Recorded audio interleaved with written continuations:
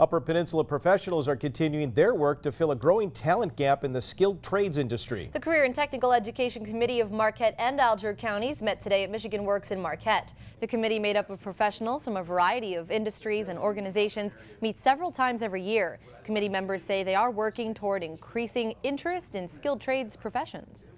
Instead of a lot of people trying to do similar things on their own, we're kind of coming together to try to make it go a little quicker and a little easier with all of our talents pulled together.